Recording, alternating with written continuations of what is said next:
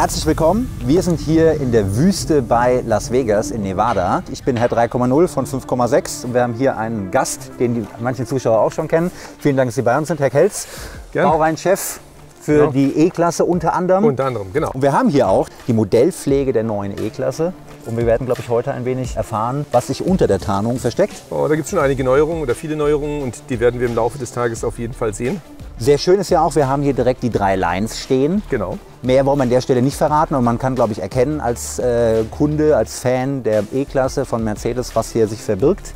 Wollen wir vielleicht bei dem Wagen mal unter die Haube schauen? Ja, also das können wir mal gerne machen. Ah, er weiß schon, wo man zieht. Wir machen einfach Arbeitsteilung.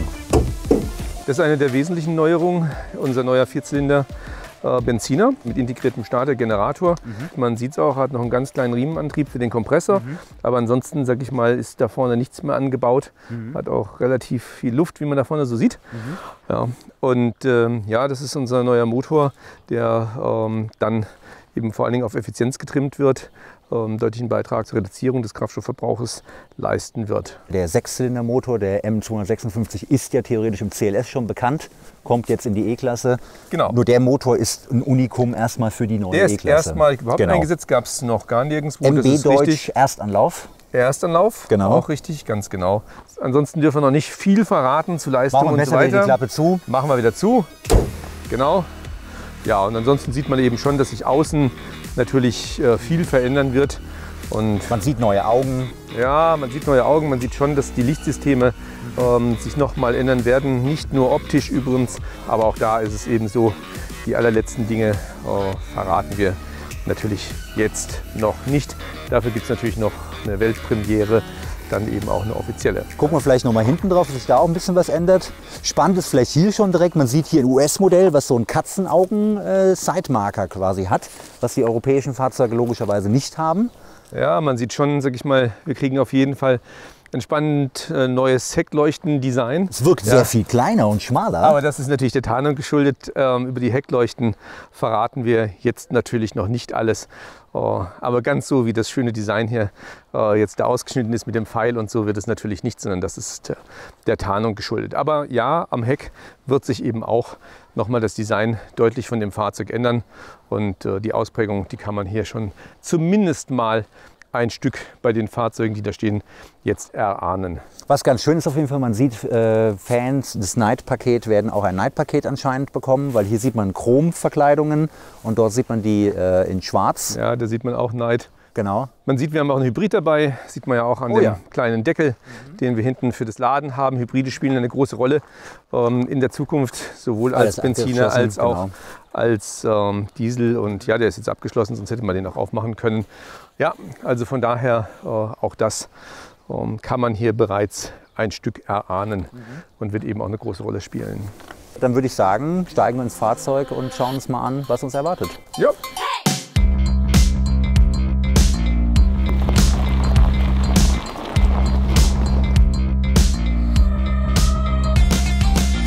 Vielleicht eine spannende Frage, die viele beschäftigt. Wie geht man an so eine Modellpflege denn ran? Also Modellpflege ist der Mercedes-Begriff für ein Facelift, sprich für ein Update des vorhandenen Fahrzeugs, weil wir reden ja nicht von einer kompletten Neuentwicklung. Wie geht man an sowas ran? Also es gibt natürlich Dinge, sag ich mal, die man immer wieder anguckt. Exterior Design, klar möchte natürlich auch der Kunde mal wieder was Neues sehen, also keine Frage. Kundenrückmeldungen fließen selbstverständlich mit ein, gerade auch in Sachen Bedienung zum Beispiel oder so. Es fließt aber vor allen Dingen unsere ganze langfristige Technologiestrategie natürlich ein, wie zum Beispiel das MBUX hier in dem Fahrzeug, was natürlich äh, aus einem baurein übergreifenden äh, Baukasten stammt. Also Mercedes-Benz User Experience als Nachfolge des klassischen Command. Ja, absolut. Vor allen Dingen, sag ich mal, wird er eben MBUX äh, in seiner neuesten Form haben, die mit dem Fahrzeug dann eben weitere Features wieder freischaltet. Man hat ja weiterhin das äh, neuere Fingerpad, eine neue Variante. Man hat hier das nagelneue Touchpad. Ja, der alte Touch-Control-Button, so heißt der eigentlich offiziell, und nicht Fingerpad. Ja, okay. Auch wenn das manche Leute sagen, ja, das ist schon Ja. okay. Ähm, aber die Touch-Control-Button wurden eben jetzt ersetzt, haben eine andere Technologie dahinter. Wie man hier sieht, sind auch nicht mehr so rötlich und ähm, arbeiten jetzt eben mit der neuen Technologie. Ja, man kann ja schon so ein bisschen erahnen, ein neuartiges Lenkrad, eine neue Generation. Noch ein bisschen getarnt, aber nur wenig. Ja, Aber die Funktionstasten müssen natürlich offen sein, sonst können wir hier nichts drüber Ja. zeigen. Ja. Aber die sieht man ja auch schon in neuer Ausprägung. Wobei hier schon, sage ich mal, natürlich, äh, wir sitzen ja in einem AMG-Design äh, mit einem Supersportlenkrad. Also der normale Kunde hat das hier nachher auf einer Platte mhm. und nicht eben wie hier auf den Speichen verteilt. Mhm. Die Speichen sind ja hier, das sieht man jetzt vielleicht nicht so ganz genau, sind ja wirklich getrennt. Ja. Man kann also durchgucken. Ja, also von daher also neue Lenkräder prägen nachher die E-Klasse schon im Interieur deutlich. Da hat man eben gesehen, als äh, Sie hier Richtung Radio gegangen sind, dann äh, gibt es ja auch eine Gestensteuerung in dem Auto. Ja, Gestensteuerung hat es jetzt auf jeden Fall auch. Man sieht es sofort, wenn ich genau. hier hingreife, dann kommen eben die anderen Radiostationen auf. Man sieht jetzt hier keine richtigen Icons, weil wir jetzt mit dem deutschen Radio in die USA fahren. Aber wenn wir das andere Fahrzeug benutzen würden, also mal während der sieht man dann die richtigen Sendersymbole ja. und alles. Also jetzt haben wir hier natürlich, dadurch, dass wir das europäische Auto für, den, für die Fahrt jetzt genutzt haben, natürlich halt äh, nicht die amerikanischen Funktionalitäten. Mhm.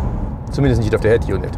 Der Rest was, ist was für Funktionen gibt es noch? Ich habe gelesen, äh, mal beim CLA zum Beispiel, wenn der Fahrer dann bei Nachtfahrt in Richtung Beifahrerraum greift, würde das Leselicht als Spot ja. hierhin angehen? Genau. Ja, also geht beim Zurückziehen der Hand Genau, auf aus. die eigene Seite, wenn man da oben hinfasst, dann Aha. würde es angehen. Jetzt ist es ja Tag, jetzt ja. geht es natürlich nicht an. Die Gestenkamera können zwischen Fahrer und Beifahrer unterscheiden. Aha. Wie übrigens auch die Sprachbedienung. Also wenn wir jetzt hier die Sprachbedienung nutzen, dann brauchen wir nicht mehr zu sagen, was beim Fahrer oder Beifahrer passieren soll, sondern wenn ich jetzt meine Sitzheizung zum Beispiel hier einschalten möchte bei dem Fahrzeug, dann kann ich einfach äh, sagen, ähm, Sitzheizung an und es passiert eben wirklich beim Fahrer. Wenn ja, dann teste ich das, das doch sagen, einfach mal. Dann, genau. Ja, probier mal. Hey Mercedes. Ja, bitte. Sitzheizung ein. Ich schalte die Sitzheizung ein. Sagenhaft. Der Beifahrer sieht, wurde direkt ist erkannt. Es ist beim Beifahrer, genau nicht bei mir. Ja. Ja, und das geht jetzt eben, weil wir zwei verschiedene Mikrofone haben für mhm. Fahrer und Beifahrer und damit erkannt wird, wo reingesprochen wird, wo eben die stärksten Ausschläge sind. Ja. Und damit haben wir natürlich auch die Möglichkeit, das dezidiert zu machen. Hey Mercedes. Was kann ich für dich tun? Sitzheizung aus. Okay, ja, das ist schon super. Bedeutet natürlich, wenn man jetzt einfach mal weiterdenkt, in einem späteren Schritt könnte man sich irgendwann fast auch die Knöpfe sparen. Ist ja, natürlich schwierig. Das ist nicht jedermanns Sache. Ich komme auch immer darauf an, ja. wie viele Leute im Auto sitzen etc., ob man Sprachbedienung nutzen will oder nicht. Ja. Ähm, ich denke, es ist immer noch wichtig, dass man auf jeden Fall, sage ich mal, alternativ zur Sprachbedienung auch ein vernünftiges Bedienkonzept hat. Ja. Aber es ist richtig, gerade wenn man eben alleine im Fahrzeug fährt, dann ist es natürlich schön, wenn man dort uh, mit Speech die ganzen Sachen bedienen kann. Und ähm, am Ende, sage ich mal, haben wir jetzt eben hier eine Bedienungsmöglichkeit auf der einen Seite auf dem Lenkrad, mhm. selbstverständlich. Mhm. Auf der anderen Seite haben wir das äh, Touchpad ja immer noch in der Mittelkonsole, ja. um ganz äh, einfach mit der Hand dort bedienen zu können. Und ähm, wer eben nicht bis auf den Touchscreen greifen will oder die Fingerdapser nicht mag, ja, die ja doch von manchem ein bisschen immer angemängelt werden. Aber klar, wir haben auf jeden Fall eben die Touch-Bedienung mit ja. der Gestenbedienung, sodass man da eben auch direkt drauf greifen kann und dann eben zum Beispiel hier einen Radiosender direkt umschalten kann. Also von daher, ja. Genau, wobei das natürlich Multiple schon so Möglichkeiten. bekannt wie aus der ähm, A-Klasse oder aus dem GLE, dass man halt hier wirklich jetzt touchen kann theoretisch und sich das einstellen, ausrichten kann, wie man möchte. Und es geht auch schön flüssig. Also, weil man muss natürlich schon hinzusagen, glaube ich, dass das schon noch eine Art Prototyp ist. Also hier ist nicht die Kunden, letzter Kundenstand von Software drauf, oder? Nein, nein, bei weitem nicht. Also ja. man muss auch ganz klar unterscheiden, die Reifegradstadien in so einem Fahrzeug, die unterscheiden wir ganz klar zwischen Hardware und Software. Mhm. Da das System ja äh, permanent updatefähig ist, auch over-the-air updatefähig ist, ist schon so, dass wirklich der aller, allerletzte Stand immer dann drauf kommt, sage ich mal, ähm, wenn es dann wirklich zum Kunden geht. Mhm. Also deswegen gibt es ja noch viele andere neue Features, die auch softwarebasiert sind, über die wir später noch reden können, in den Assistenzsystemen etc. Und auch die sind noch nicht fertig. Was gab es denn bei der Hardware, was man machen musste, machen wollte oder machen konnte? Die Rohbaustruktur selbst, also die Struktur vom Fahrzeug im Grundsatz, die war natürlich langfristig ausgelegt und äh, dort haben wir außer die Maßnahmen, die wir jetzt für die kosmetischen Themen brauchen, für die Designthemen, ja. äh, jetzt an dem Rohbau nicht viel geändert. Mhm. Also da gab es ein paar kleine marginale Anpassungen, aber zum Beispiel ähm, gibt es schon im Außenbereich, das verraten wir ja noch nicht, ja. deswegen gibt es ja Tarnung, aber gibt es natürlich schon noch ein paar Eingriffe ins Blech. Ja. Einen sieht man ja, man sieht hier einen kleinen Power Dome auf der Haube, zweifach. Da hilft keine Tarnung leider. Nee, das ist klar. Also den haben wir auch, ja. Genau. Nicht in jeder Line, aber ja, das hat sich eben auch geändert. Aber sieht sehr sportlich aus. Also mir gefällt das schon sehr gut. Hm, die anderen Dinge, die sich natürlich auch noch ändern, ja, sie gehen bis ins Fahrwerk rein. Also mhm. wenn man es genau nimmt, ist eben so, dass wir ähm, zur Es gibt ja Stahlfederung, Dynamic Body Control, sprich Adaptivstahlfederung und Air Body Control, Luftfederung. Also Die drei Fahrwerke gibt es Genau. nach wie vor. Da wir nicht nur neue Motoren zur Verbrauchsoptimierung Mhm. einsetzen, sondern natürlich auch den Rest, sage ich mal, hat sich auch im Fahrwerk nochmal was geändert. kann man da was machen? Also kann man eine, eine Ermatik irgendwie äh, ökonomischer gestalten? Also diese Airmatik wurde auch nochmal optimiert. Man hat die Schaltung der Ventile verändert, um ein bisschen Strom zu sparen. Es sind natürlich, sag ich mal, Kleinigkeiten, aber sie kommen eben dann doch mal in der, in der großen Summe zusammen. So gibt es immer wieder Bedarf. Wir haben aber gleichzeitig die Situation noch genutzt, nochmal das Ansprechverhalten und den Komfort zu optimieren. Oh, keine Frage, die E-Klasse muss einfach im Fahrkomfort at its best sein. Ja. Und von daher, äh, sag ich mal, äh, nutzt man natürlich solche Gelegenheiten oder wie zum Beispiel bei dem Avantgarde-Fahrwerk, ähm, das ja in Zukunft das Basisfahrwerk ist, Mhm. ähm, haben wir natürlich genutzt, um den Verbrauch nochmal zu optimieren, äh, indem man einfach eine CW-Wertoptimierung gemacht hat. Also eine Ähm, minimale leichte Absenkung. Mhm. Tieferlegung, genau. Also von daher, sage ich mal, äh, gibt es immer Themen, die wo man eine Win-Win-Situation zwischen Technik hat und äh, Optik oder Ja. Kundennutzen. Also da gibt es Bei der. Modellpflege macht dann quasi eigentlich die Summe von vielen Kleinigkeiten das große Ganze aus, könnte man so sagen, hardwaremäßig. Schön wäre es, wenn es nur Kleinigkeiten Okay. wären. Nein, nein. Es ist gut, dass es nicht nur Kleinigkeiten sind. Ja, es sind, sind viele Dinge. Am Ende ist es Feinschliff. Ja. Manches, manches ist grob eine wirkliche Änderung, wie man es nachher eben am Außenblech zum Teil sehen wird. In der Lampen, also in der Leuchten. Ähm, Ja. äh, Integration an dem Fahrzeug wird man es sehen. Es sind technische Änderungen, wie zum Beispiel das zukünftige Fernlicht ist anders, als es heute ist. Mehr will ich vielleicht noch nicht verraten. Aber ja, also all diese Dinge, ähm, die sind natürlich Themen, die wir äh, ständig äh, weiter optimieren, sodass der Kunde wirklich, sage ich mal, gerade in der E-Klasse auch den allerletzten Stand der Technik hat. Wir fahren hier mit dem zukünftigen Parksystem, was eben in auch zukünftigen Fahrzeugen von Mercedes jetzt kommen wird. Und Unique ist äh, intern Parken 5 genannt. Okay. Aber ähm, da ist dann die Trajektorienberechnung, das ganze Thema Bildaufbau und so weiter wird anders sein.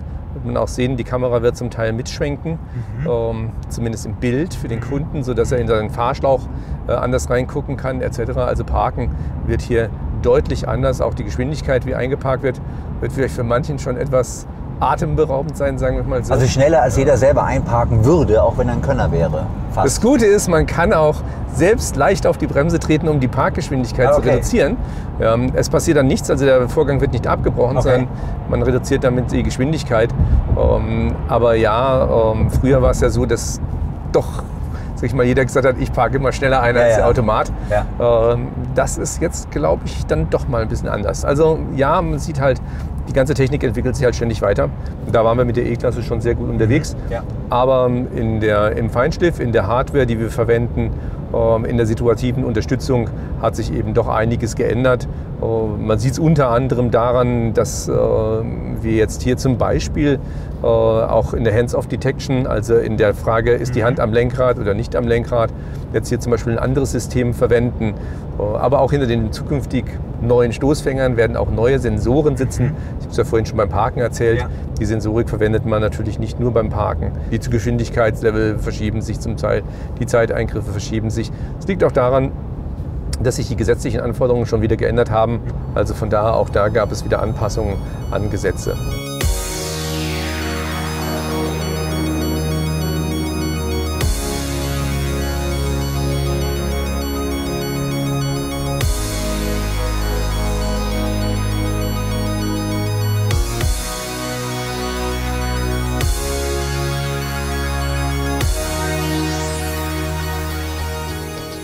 Wie vorhin schon gesagt, es werden sich nicht viele äh, Funktionen als neue Funktionen ergeben. Ja, es gibt neue Funktionen, Rettungsgassenassistenz. Also das Fahrzeug wird eben dann, wenn äh, in Europa eine Rettungsgasse gebildet werden muss, natürlich Fahrspuren abhängig, dann auf die richtige Seite unterstützt den äh, Fahrer dran zu denken, dass er eine Rettungsgasse bilden muss. Also er wäre dann quasi auf der linken Spur, Beispiel, würde er sich links mehr Genau. orientieren Ja. an dem Fahrspurbereich. Genau, fährt dann Okay. eben links rüber, Ja. äh, auf der anderen Seite eben auf der rechten Ja. Seite. Und ja, Was sehr sinnvoll ist, weil da gibt es ja gerade seit 1.1. auch ein völlig neues Bußgeld für Leute, die sich nicht daran halten. Und da unterstützt dann der Mercedes aktiv. Also eine sehr gute Funktion. Und ja, viele Dinge werden sich verbessern. Zum Beispiel ist die Spurhaltung äh, auf der normalen Straße, den Baustellen besser geworden. Die Kameras arbeiten anders, die ganze Software ist anders. Also funktional verbessern sich die Systeme.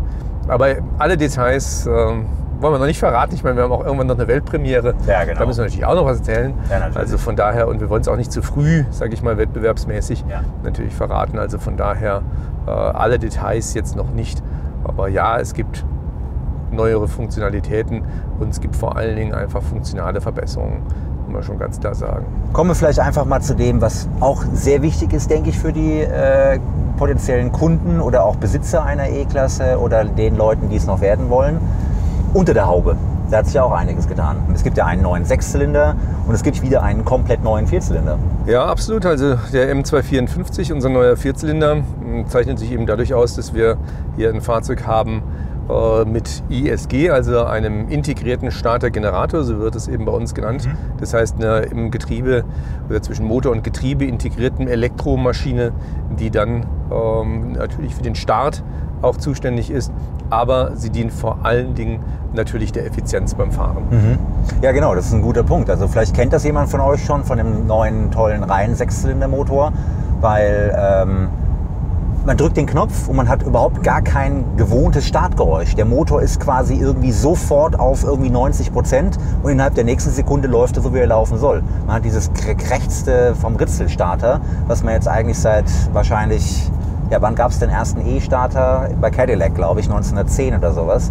Müssten wir jetzt einblenden. Lange her. Genau. Genau. Ähm, ein völlig neues Erlebnis, alleine beim Start des Motors. Ja, ich denke, für alle Vierzylinderfahrer wird es auf jeden Fall ein neues Erlebnis sein. Auch ähm, es ist ja nicht nur das Starten, es ist ja auch bei jedem Stopp, wo der Motor eben dann schon in der Auslaufphase ausgeht, dann eben Deutlich ohne. Motor an die Ampel ran ähm, segelt und dann natürlich auch erst wieder gestartet wird, sobald es eben auch wieder losgeht. Also klare Maßnahme natürlich zur Effizienzverbesserung, um den Kraftstoffverbrauch nach unten zu bringen. Und dann hat das ISG quasi als positiven, für den Kunden erlebbaren Nebeneffekt, dass es eben auch ein bisschen potenter die Maschine ansprechen. Weil, das, weil die E-Maschine unterstützt den Verbrenner. Das ist natürlich der schöne Seiteneffekt. Die Fahrdynamik wird natürlich Ja. deutlich besser, weil die E-Maschine vor allen Dingen eben bei niedrigen Drehzahlen natürlich einen deutlichen Drehmoment zugewinn Mhm. macht und damit äh, von der Fahrdynamik natürlich auch die Fahrdynamik einfach viel, viel besser wird. Das heißt, man hat eben auch bei einem Verbrenner, äh, bei, einer, bei einem Benziner, hat man mehr Drehmoment in niedrigen Drehzahlbereichen und damit hat man auch ein angenehmeres Fahren. Also eine sogenannte Boost-Funktion, die den Kunden eben dann, sage ich mal, beim Anfahren und bei niedrigen Drehzahlen nochmal unterstützt. Dann eben auch dafür sorgt, dass eben dann die Drehzahl nicht gleich wieder hochgeht ja, und damit äh, natürlich auch ein Verbrauchseffekt wieder entsteht, dass der Kunde eben selbst beim dynamischeren Fahren äh, dann einen Verbrauchsvorteil hat. Ja. Das heißt, wir haben keine Lichtmaschine mehr. Das ist alles integriert. Der Starter ist weggefallen, die Lichtmaschine ist weggefallen und das Genau. ist integriert zwischen Motor und Getriebe in dieser E-Maschine. Das ist der Generator gleichzeitig, deswegen heißt der Starter-Generator, der eben auch, wenn ich jetzt ähm, den Fuß vom Gas nehme, sofort in die Rekuperation geht und damit ähm, sofort wieder Energie der Batterie Man natürlich auch auch zuführt. Genau. Ja. Also ein, ein Schanzeige. 48-Volt-System übrigens, selbstverständlich, also nicht 12 Volt, Ja. sondern 48 Volt und äh, damit eben auch mehr Energie äh, beim äh, Fuß vom Gas nehmen wieder regenerieren kann und damit äh, dem System natürlich Energie halt zuführt. Ist das eine Art Mild Hybrid? Kann man das, Das so ist ein nennen? Mild Hybrid, ja, klar. Genau. Also keine Frage. Das ist ein richtiger Mild Hybrid. Ähm, und ja, Ganz witzig ist ja vielleicht jetzt, äh, der heißt 2, also M254 Mhm. und vorher hießen die Motoren M274, 264. ja, immer 10 runter halt. Das ist- Obwohl es eigentlich hochgeht in der ist- Evolutionsstufe, sinkt die Zahl. Ja, das ist äh, Okay. also ein bisschen spezial Mercedes. Ja. Mhm. Aber es ist richtig, wir kamen vom 274, äh, waren dann beim 264, der ein Riemenstartergenerator ist, ein RSG-System. Und sind jetzt beim 254, der eben ein integrierter Startergenerator ist. Wenn man jetzt mal hier auf Eco umschaltet, dann ähm, nutzen wir das System natürlich vor allen Dingen dafür, auch einen möglichst langen Segelbetrieb zu haben. Ja. Das heißt, wenn ich in der richtigen Situation, ähm, dann wenn ich eben auch keine Klimaanlagenanforderungen habe etc., ähm, den, oder keine direkte zumindest, dann kann ich natürlich auch eben große Strecken, Strecken äh, segeln. Das heißt, ich kann also ohne den ohne überhaupt, dass der Motor läuft. Ich glaube, das heißt, es gibt ja fahre. intern genannt auch Segeln 1, Segeln 2. Dieser Wagen kann dann Segeln 2. Das ist der Unterschied ist zum bisher erlebten Segeln, wo der auf Leerlaufdrehzahl abfällt, dann aber theoretisch ein wenig Kraftstoff konsumiert, der Motor, geht er hier komplett aus. Ja, der geht komplett aus. Genau, das also ist halt sobald, maximale sobald, das Fahrzeug, Effizienz. sobald das Fahrzeug segelt, ähm, geht der Motor aus. Mhm. Ja. Wie gesagt, einziger Grund, warum der Motor manchmal eben noch anbleibt, ist für den Kunden vielleicht auch manchmal nicht so richtig nachvollziehbar, ist ähm, die, Motorbremse. die, ja, die Motorbremse auch. Die gibt es natürlich noch. Also gerade wenn wir das jetzt hier den Berg abmachen, sieht man auch sofort. Dann geht er voll in Charge-Modus, Mhm. lädt also die Batterie jetzt wieder auf. Ja. Ähm, wir fahren aber jetzt ziemlich stark bergab. Dann hat das Fahrzeug auch eine Motorbremse, rollt also nicht frei. Ähm, sobald es, sage ich mal, wieder etwas weniger äh, Gefälle hat, ähm, geht das Fahrzeug dann in die, ähm, auch in den ganz normalen Rollenbetrieb. Aber es braucht eben eine Intelligenz, die zum einen guckt, okay, wann kann ich clever Energie wieder zurückgewinnen, ähm, wann, sag ich mal, äh, passt besser das, das freie Rollen? Und gleichzeitig muss eben noch darauf achten, dass wenn wir nicht mehr, wie jetzt hier scheint ja noch die Sonne brauchen, wir also noch Klimaanlagenleistung, dass die Klimaanlage eben auch noch, ähm, sag ich mal, betätigt werden kann. Das heißt, wir haben also mehrere Gründe, Also warum das System manchmal segelt und manchmal zum Beispiel eben nicht segelt. Ja. man kann so nicht einfach sagen, das ist völlig digital on-off. Nee. Zum Beispiel es jetzt haben wir eine Situation, ähm, wir fahren eigentlich ein bisschen zu schnell. Jetzt müssen wir sogar mal die Bremse benutzen. Aber klar, ich bin vorher so mit Distronic gefahren. Dann ist es zum Beispiel auch so, wenn das System also erkennt, ich fahre zu schnell, ja, dann den Fuß vom Gas nimmt, wird die Motorbremse auch genutzt. Ja. Dann geht es eben nicht ins, dann geht's eben nicht ins Segeln. Ja. Also von daher, äh, es hat äh, diverse Gründe, wann im Zusammenhang mit zum Beispiel Distronic fahren oder nicht Distronic fahren und so weiter. Wir segeln jetzt zum Beispiel, sieht man, ist die Drehzahl, jetzt rollen wir gerade Jetzt frei. sind der Motor jetzt haben wir uns also ordentlich an die, Dreh- an die Geschwindigkeit gehalten. Gut, wir sind noch drei Miles per Hour ähm, zu schnell. Ja. Mhm. Aber da, sag ich mal, da geht es dann eben so, dass wir hier jetzt im Segeln zum Beispiel dann auch runterfahren. Jetzt kann ich dazu bremsen, bleiben im Segeln. Jetzt bremse ich ein bisschen Ja. mehr. Ja. Schon schaltet der Motor wieder ein. Ja. Also von daher, es gibt eben in der Elektronik sehr viele verschiedene Bedingungen, wann der Motor ein- und nicht einschaltet. Und vor allen Dingen unspürbar. Also ich kann hier sagen, vom Beifahrerplatz aus, man merkt es nicht. Wenn man nicht gerade aktiv hinschaut, als Beifahrer würde man es nicht mitbekommen.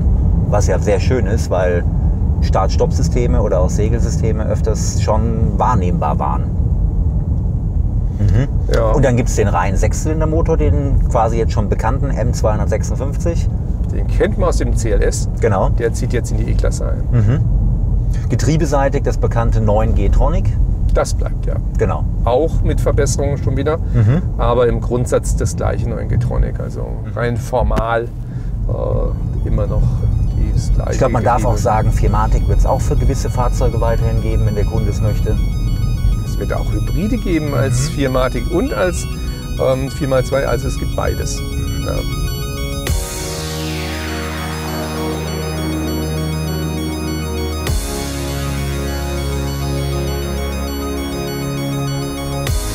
So, herzlichen Dank für eure Mitfahrt. Wir haben euch die neue E-Klasse präsentiert, das, was wir präsentieren konnten zu dem frühen Zeitpunkt. Wir hoffen, euch damit einen guten Einblick gegeben zu haben zum W213 Mopf, wie er genauer heißt. Was sich unter der Tarnfolie verbirgt, das sehen wir leider erst ab Genf, wisst ihr jetzt. Äh, Und dann kann man auch genauer hier reinschauen, die Technik und die Designsprache. Und ähm, vielen Dank fürs Zuschauen. Bis demnächst. Ciao.